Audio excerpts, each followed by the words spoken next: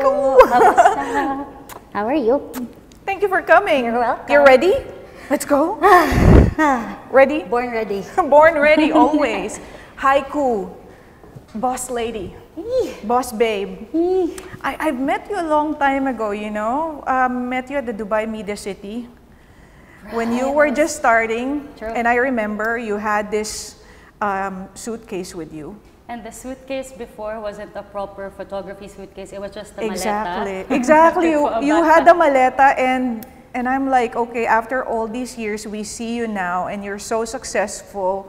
Mm-hmm. You know, not not only in business, you've represented Filipinos out there in mainstream media and we're like blown away. And and I always used to say na, you know, that girl's going to go places. Thank you. H- How did you how did you make this all happen? What what's the what's the secret? Tell tell us about your journey.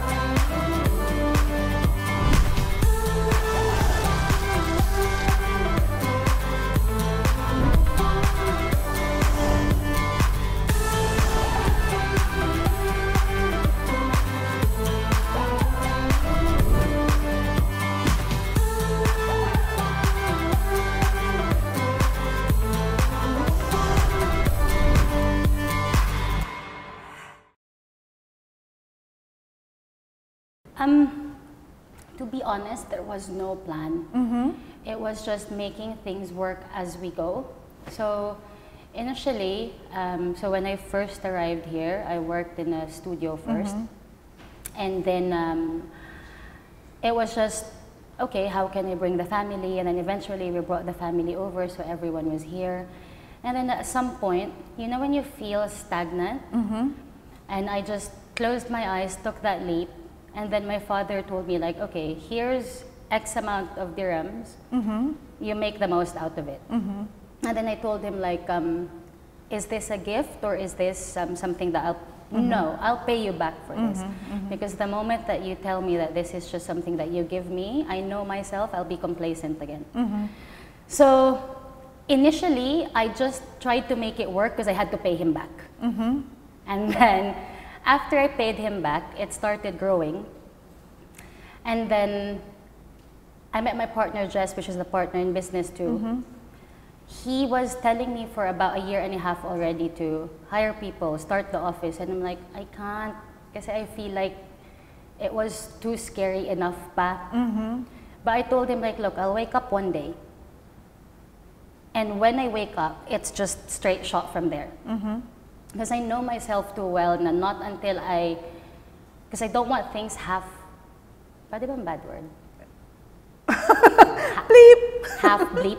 Okay. I, no, I- don't want to do things like not giving it my all. Yeah, I understand. So, and then that happened. One day I woke up and I was like, okay, do we have enough finances to pay someone in full? Um, and he was like, okay, yeah, we do. Um, lalo na I don't have a business background. Accounting. Exactly, yeah. It was all like, you know, like how you do, okay, this is like your expenses at home, lights for X amount. da, da, da. Yeah. So it was that manual how we did our, Mm-hmm, our finances before. But in my head, it was just, I won't start or get something not unless I can pay it twice. Mm-hmm. So the whole movement of the office was not until we were able to save up for something Mm-hmm. and pay it double, then we won't move forward. I like that. I like that. That is something that a lot of entrepreneurs can learn from because normally what happens is that people will borrow money saying that they will invest it, you know. I, I guess if you don't have the money, then don't spend it, right? True. W- One of the things I've noticed with you, you know, even early on, and I thought that was always a winning quality, is that how well you related with people. You had the natural rapport and a natural charm, you know, you're chatty and lighthearted, and I think that has helped you a lot, don't you think so? That actually started because I do have my own insecurities. Like when I'm at home, I'm the complete opposite. I just Really? I cannot imagine this that. is what everyone Seriously, is yeah. saying. But most of the people close to my circle, they know na sometimes even when we're in a big group, I just keep quiet or I'd go up Mm-hmm. Yeah, alone yeah. first or um, I just shut down in the toilet, play Tetris. Mm-hmm, Really? like that's just my But so for me to be able to like every time I speak to someone, it's confronting a fear basically. Mm-hmm. So when I walk in a room and then I feel like I don't know an- anyone, instead of being in a corner, I'd make friends instead. And then in my head, I feel like, okay, this is me getting over it, wow, that's it a done. great strategy, huh? And then, because I know it too, na if I don't confront it, I'll never, there won't be any growth. Yeah. And it's just me that can confront it. And you've won with that. I mean, you've won a lot of hearts and a lot of Thank business, you. I guess, because I think that's one of the things that makes you different from the other people who are in the same industry as photography and videography, right? Because you have a personality, people can relate well to you, and I guess that's how you make business also, right? So I, I'm, I'm astonished at uh, what you're, you're telling me right now. And also one thing was I'm an only child, so it, Mm-hmm. it was always a struggle to make friends. And like um, when you go Hindi home, obvious talaga. Like It's really, I cannot imagine you telling me that. This is the last thing. This is the last thing that I would expect from you. But And also, like being an only child, you're used to playing on your own, so you don't really need to go out and make friends kasi nga, Mm-hmm. Yeah. y- you can entertain your own self. But then, like, I was like, but it's not fun too, and it was it was a Yeah. Big fear mm-hmm. to, to to like sometimes when I talk to people, it came to a point na I have this script in mind. Okay, I'll start off with X, Y, Z, and if all else fails, I'll talk about the weather. People should listen to this because I, I mean this is a it's a classic example of how you turn a weakness into a strength. Mm. Because of all the things I can pick out from you as a person that would have really helped you in your career, I think this is the number one. At least in my in, in my head, you know, Mm. the, the way we see you. I mean, you've been featured in so many, uh, you know, in so many platforms. You're one of the Filipinos who have broken out into the mainstream, you know, and is and is embraced by multicultural platforms, right? Oh, How does that feel for you? I'll be very honest. I freak out every time. Mm-hmm. Like um, they see it in the office. Like sometimes they're like, "Oh, you got featured in this," and I'm like, Yeah. "Huh?" They see the magazine feature and then Mm. it, it feels like this? No, in my head, I'm like, "Huh? Why? Bucket?" Because in my head, I was like, I have to top myself up again. Mm-hmm. I have to push myself hard again. And then sometimes, as a human being, you kind of get not tired, Mm-hmm. but your bucket gets full into pushing yourself too hard too. Yeah. But again, translating it into like fear into something else. Mm-hmm. So I was like, okay. But I, one thing that I'm happy about myself is I always confront my fear though. Mm-hmm. Like, even if I feel overwhelmed by it, I would confront it like a lock in the toilet, mm-hmm. cry a little bit, and then get out and like, okay, goods na ako. Good to go na ulit. But I am, every time there's a feature, I'm always like, hala, wait lang. And that's why like the guys are, no, you embrace it, you enjoy it, you give yourself a pat on the back. And I'm Do you ever get intimidated when you see all these other people? sobra, all the time. Uh-huh. Because So what's the mantra? Say for example, you're in this situation. What will Hyku do? This is one thing na my father has always taught me though, that everyone's poop smells the same. it might sound so funny and weird, oh my but goodness. That- Please, please repeat that again. so everyone's, it sounds better if the other word, but, Yeah. but everyone's poop basically smells the same. yeah. So sometimes if it's a celebrity or like in my head, I'm like, And you've met a lot of celebrities, right? Yeah. or like very powerful people. In my head, I'm like, wait lang, what I do, you do too. But there should be a sense of respect towards the other kasi that other person did something better. Kaya dapat equal lang when you speak to to, to a waiter or even Mm-hmm. to a CEO. And how I tell my guys is I like that. That's a very good point. Yeah. um, like how you would speak to me Mm-hmm. or how you would speak to your subordinates should be the same. Mm-hmm. Because it doesn't matter, we're all human anyway. I love that. I love that. Yeah. And um, we're all here for a reason. We're all here for either to provide for our families Mm-hmm. or to secure for a better life or to achieve a goal. Mm-hmm. Um, but at the end of the day, everyone has a purpose. So that's just what, like, um, I remember I got so um, intimidated with Quincy Jones. Because it's a man of wisdom. Like, how Yeah. do you direct someone of, like, and Yeah. then, um, but I sat right next, I don't know why, but Mm-hmm. I sat right next to him. I put my elbows in his lap and I'm like, how are you today? And I'm like, I just, I love that because that's the attitude that wins, right? Mm. like, I just stopped looking at who. But I would speak exactly the same to, to, to whoever, not unless um, it, it's someone that has done me wrong. That's the only thing. But in general, I think everyone should I be love treated that. equally. That's that's a very good point. Speak as an equal. Mm. Speak on the same level. I, actually, that's why you know, even especially in the Filipino community, we like doing True. Mm. this. Excuse me, you know, we, we try to make ourselves so small and excuse me, ma'am, madam, Mm. miss thing and miss that. You know, so I think there's a huge value Mm. in speaking uh, equal. Not only with the words that you say, but with how that makes you feel. Because Mm. when you speak like an equal, you also feel like you're at par with that person, and there's no need to be shy because True. everybody's got their own value, right? As long as the respect is there, of course, I think that's definitely. The, that's just the most important thing. Like, Right. um, especially with people that are like celebrities or people that are of high power, they like it when they're being spoken naturally. Because Mm-hmm. sometimes you can't blame them; they're way up there, and everyone is just like Scared. yeah, or like intimidated Mm-hmm. by them. And then when they feel also that they can still be spoken to, they feel human as Yeah. well. So That's that's, one right. thing that I noticed. I like that. I like that. I, I hope a lot of people will, will take a cue from that. You're so popular and so out there in the mainstream.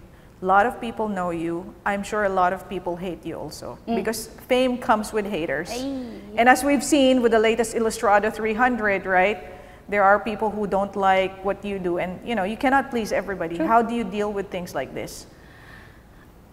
To be honest, in the beginning, I do get hurt about it. Mm-hmm. I cried about it. There were bottles of wine that were wasted for it. Okay. But Nev- never waste. no, consumed. Never wasted. Yeah. But it took a while too. Mm-hmm. Um, it wasn't. It was. It was years of trying to be thick-faced, and then I had this mentality na parang, wait, you're not helping me paying my Mm-hmm. bills. You're not helping me grow as a person anyway. And at the end of the day, they have their own opinion. Mm-hmm. So if it's someone that I don't find credible, if I know that they don't know my story or Mm-hmm. they don't know what we've been through or I've been through, I'll just let them say my piece. And if that, if, Yeah. but then again, I feel sad for those people. Mm-hmm. Kasi parang in my head, like sometimes you want to rant. Mm-hmm. But siguro when you when you get into business, you don't want to waste time. Yeah. So instead of typing and ranting and Is replying to the all time? of that, Right, yeah. it's not gonna it's not gonna be converted to dirhams. Mm-hmm. So might, might might as well like sleep mm-hmm, or mm-hmm. spend my time on something else instead. It's true. instead of dwelling on it. But others find joy in it. They, they, they thrive and they like it, um, which I don't understand why other people actually enjoy other putting other people down. Because parang Some people have all the time in the world, I guess, right? True, but in my head, I was like, look, use that time to do something else instead. Like, um, siguro instead of ranting, if you went out and looked for a client, baka converted to, to, to something else It's siya. true, it's true. Or build a relationship with a friend. Yeah. Or take your mother out. Or spend time with your child. Like, I know. And I, I think, you know, again, within our small community, which is like a fishbowl, you know, there's this term crab mentality and all that. I think what people don't understand uh, is that when we try to destroy or discredit another Filipino, it all comes back to all of Yeah. us. Y- You know, and I say this um, if you make Filipinos look bad, don't feel surprised if the next time you're applying for the job, you don't get the job because it's our collective face out yeah, there. It's true. our reputation, True. so we're all connected, right? And I remember one thing too. See, like a lot of my parents' values, I realize actually apply. so, Mama once told me na if someone tells something, uh, like for example, if you would say something bad about me, I wouldn't actually, eh, like I would see more, uh, you more negatively mm-hmm. compared to the person you're talking about. Mm-hmm. Because if you can say that That's about that person, what can you say behind my back? So it's not that person that I won't trust, it's mm-hmm. basically you. And so It says more about Yes, the person about who's the person saying who's saying exactly, it, rather true. than the, the, the person of topic. Na it worked out well in the long run because I was able to eliminate people I didn't need. Mm-hmm. I was able to take out a big chunk of people that I know wouldn't be of help Yeah. anyway.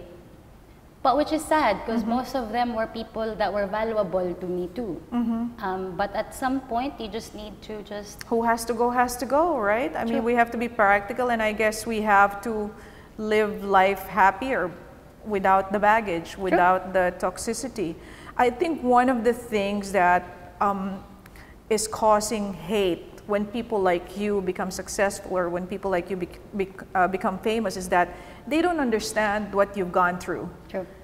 they think that this was just given to you on a silver platter, just like that, without you really working hard for it. What was the struggle so people can understand what you've Oh. gone through?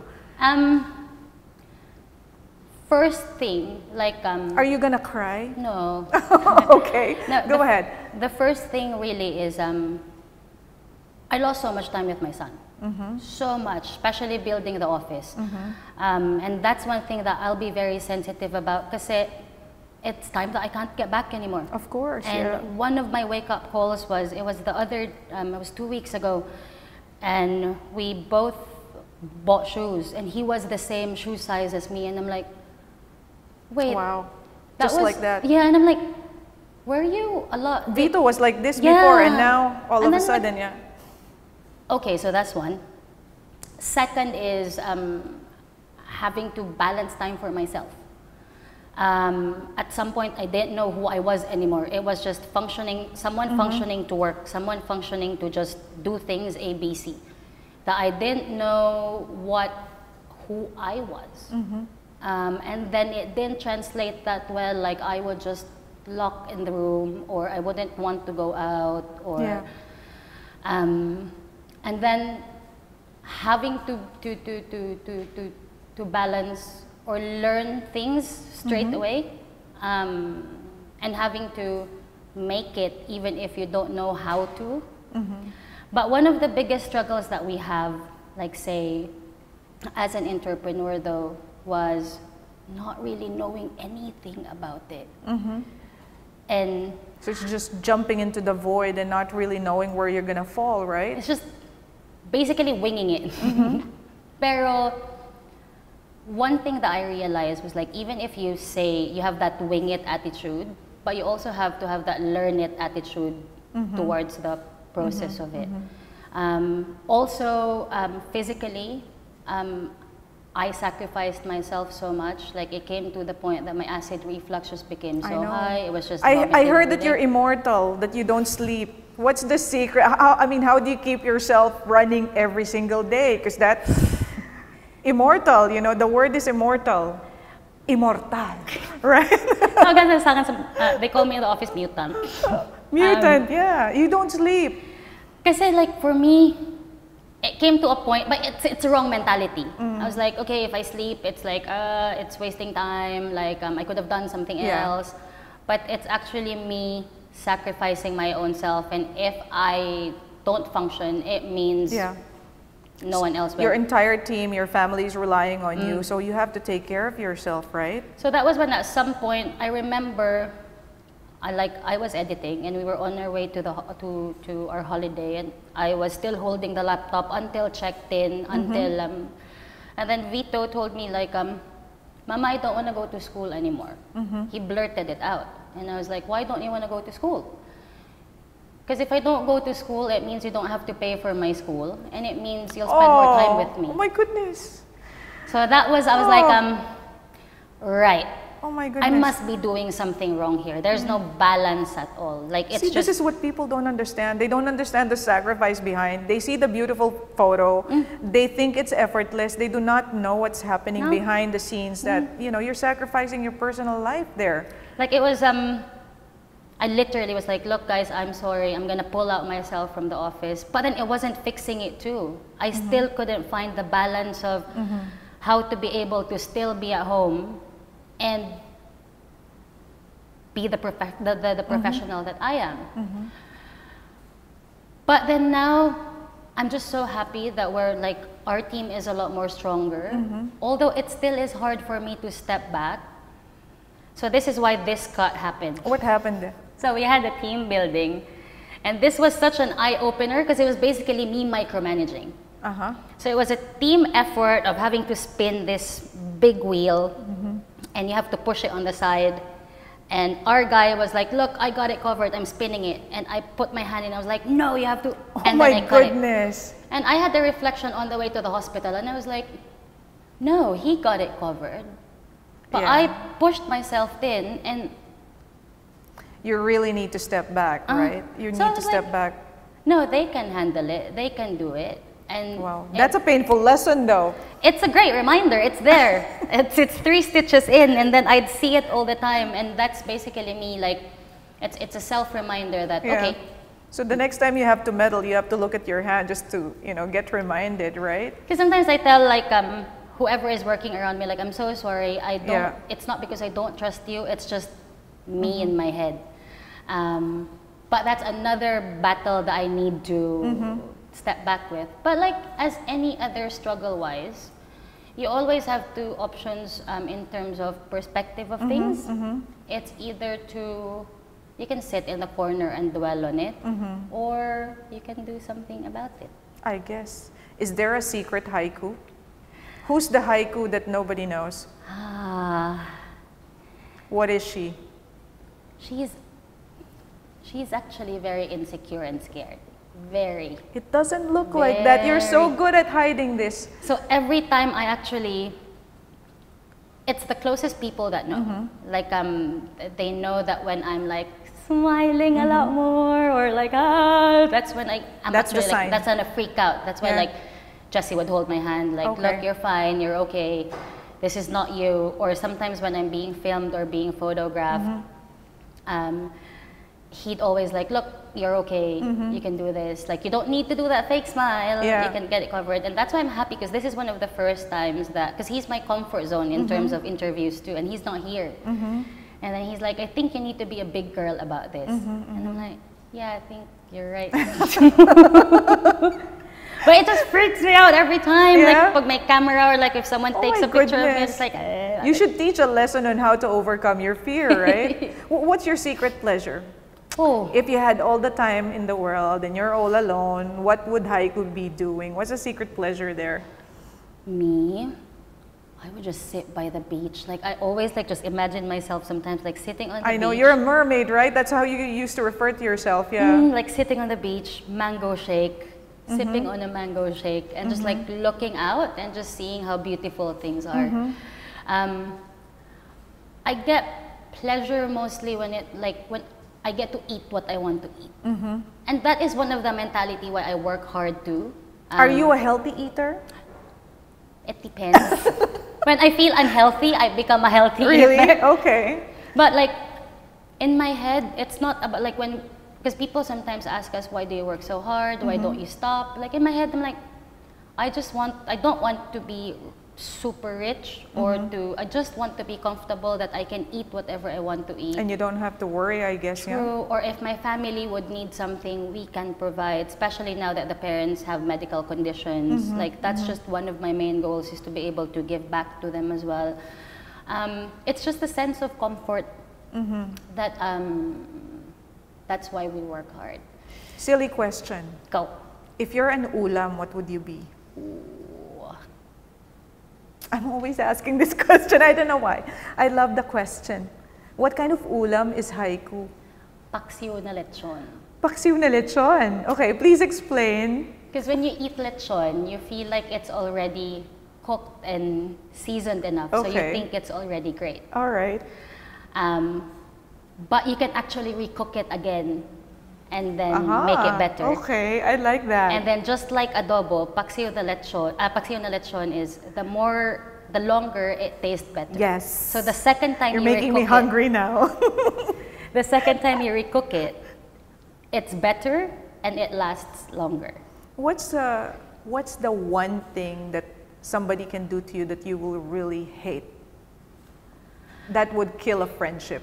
Lying to me. Lying to you. Mm, like I would rather have someone like tell me straight up, Mm-hmm. like, look, I can't do this, um, or, but when someone lies to me, that's when I'm like, bloop, out, you're out. Like no Mm-hmm. explanations, no fixing, no nothing. Um, that's one of the main things that I really look out for friends or Mm-hmm. for like I'd rather be someone be blunt to me if they don't want to say it. Like backstabbing for me is something I can forgive. Mm-hmm. Or Mm-hmm. Really? yeah, that's that's something that I can like. Maybe that's just a bad personality, or mm-hmm. but lying is like cheating. Mm-hmm. It's you do it because you want to cause. You, um, you may be protecting something, but you're inflicting hurt straight away. So I think that's one thing. What's the one thing that people can do for you that will make you happy? On the Ooh, flip I'm side. very shallow though. Really? How Um, shallow is shallow? Sometimes you just bring me food, I'm happy with that. Mm-hmm. Or it was funny because for my birthday last year, the guys in the office like, oh, what should we give her as a birthday gift? And then I was like, look, think simple. And then Mm-hmm. they gave me a bottle of kimchi. I was over them and I was like, yes! I was like, that's it, just food. That's it. Food talaga. Mm. Food talaga. Uh, What what is still out there for you to conquer? A lot What's the hope? What's the hope? What's the Um, ultimate dream there? I mean, the, the ultimate dream is having to be able retire uh, to retire with financial freedom, and having to be able to stop that cycle, that Filipino cycle of the, the, the children having to be able, uh, the, having to be able to provide for their parents, and the parents becoming a burden to their um, children. Um, that's one thing that I that, that's just my goal is for Vito to be able to live his life not mm-hmm. having to to conform with anything. And I'm just so happy I'm, I'm being able to provide with my parents because that's one thing that I was so scared about. Mm-hmm. Because I know that they've worked so hard for me and they gave up everything. It came to a point that like financially they, they sacrificed too. So I know that it was only me that was going to be able to mm-hmm. Um, to provide for them when it's their time to retire. So not like when you have siblings, you have someone to You're the only share one. the burden with.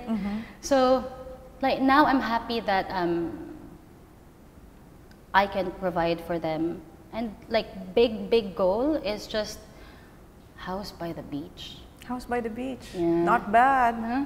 Not a bad dream. House by the beach, hostel, you cook eggs for people in the morning. I love. So nice.